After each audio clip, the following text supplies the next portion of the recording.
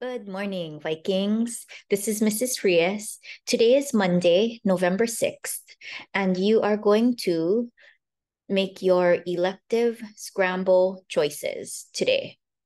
So, our elective scramble will be held in a couple of weeks on November 20th, and you will all today be selecting five possible electives that you are interested in learning more about. Now, you might be asking yourself, why are there math classes and English classes and science classes on an elective list? And the reason is these core subject area courses are courses that you can choose to take. They're not the ones that Hilo High School or the state of Hawaii tells you you have to take. These are your choice, thus, the term elective.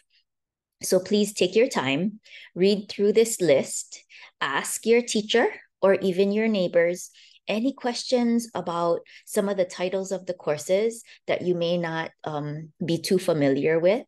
But I would like you to list five courses that you are interested in learning more about, not courses that you're already taking, and rank them in order from your first choice to your fifth choice um, as I'm making your elective scramble schedule, I will try my best to give everybody their top three choices for that day. Um, but just in case I'm not able to fit everyone's top three, I'm asking for your top five.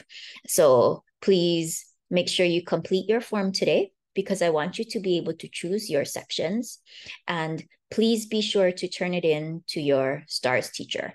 I will be collecting them from all STARS teachers today so I can start working on your schedules.